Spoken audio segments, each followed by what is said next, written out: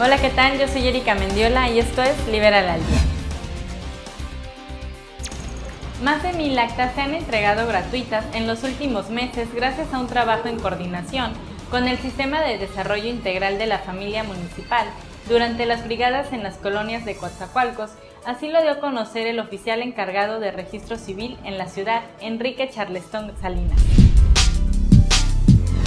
El sistema Star Stop, desarrollado por Bosch, ya está instalado en más de un millón y medio de vehículos desde que comenzara su fabricación en 2007.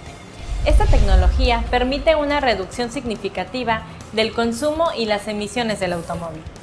Una vez reconoce que el vehículo se ha detenido, el DI apaga el motor. El transmisor de revoluciones mide constantemente el ángulo cigüeñal y transmite los datos al regulador. El regulador identifica la posición de cada uno de los cilindros tras la desconexión del motor a partir de la posición del cigüeñal. Entonces selecciona el cilindro que sea adecuado para el arranque directo. Evalúa qué acciones deben llevar a cabo el motor de arranque y la inyección directa de gasolina para que el motor se ponga de nuevo en marcha. En este momento el sistema está a punto para el arranque directo.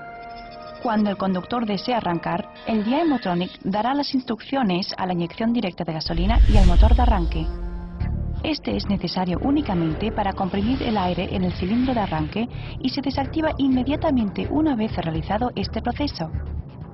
El combustible se inyecta directamente en la cámara de combustión. Contacto, el motor está en marcha.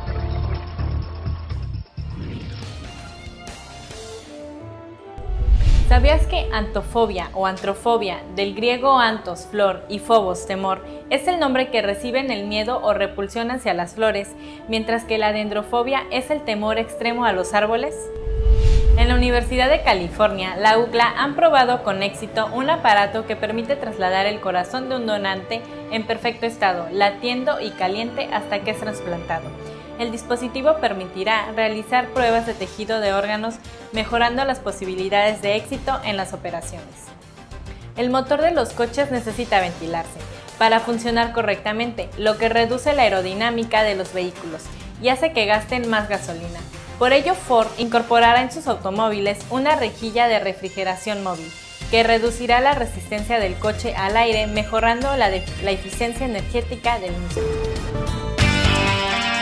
Liberal del Sur, periodismo trascendente.